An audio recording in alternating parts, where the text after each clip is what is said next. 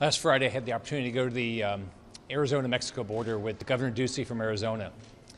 And what we saw is what uh, Biden's uh, open borders amnesty policy are doing. We, I met with Border Patrol agents. They're flabbergasted of, this, these changes. Uh, we took a helicopter, went down along the coast, and here's what you saw. You saw, you saw a wall, then you'd have an opening because they were ready to put the gates up, and the Biden administration says, no, you can't put the gates up. You saw cameras and lights. They're ready to be hooked up so we can have better security. Shut down. They won't, they won't let them open that up. You saw roads that, are, that were supposed to run along the wall that are going to be washed out because of the rains that will come.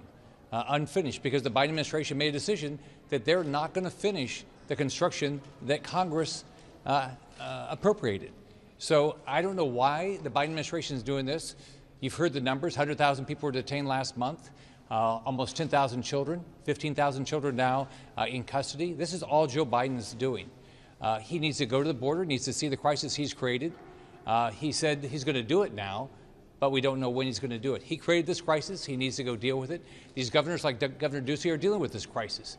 They're dealing with people coming across the border. Their ranchers are getting impacted. Their businesses are getting impacted. Joe Biden needs to get down there and solve the problem.